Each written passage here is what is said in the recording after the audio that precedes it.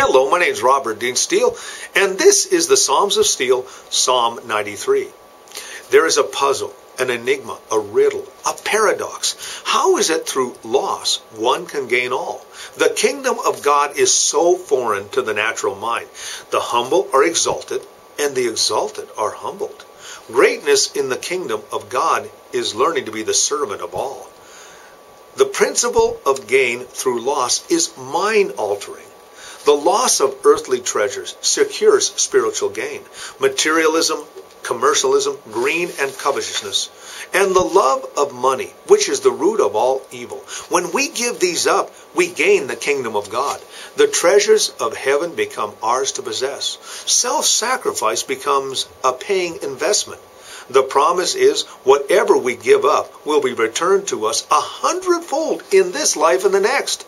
Another spiritual paradox is when you lose your life for the sake of Christ, you gain it back. Another truth is if you try to save your life, you lose it because you do not consider it or consider the eternal cost.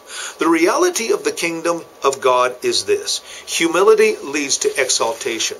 God exalts the humble and humbles the proud. Pride is the original sin that caused heavenly beings to fall. The Lord promises life out of death. You have to be dead to trespass and sin to live. The Lord takes the foolish things to confound the wise. The Lord considers his servants when we give up all to follow him. Help us to see the true value, not in what is seen, but what is unseen we receive and gain all. That is the prize and reward for those who long for his appearing. The puzzle, the enigma, the paradox, the riddle remains. God chooses through loss to bring about gain. Let the wise consider and grasp this wonderful truth and live.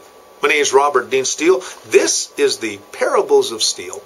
I'm sorry, the Psalms of Steel. You have yourself a great and godly day.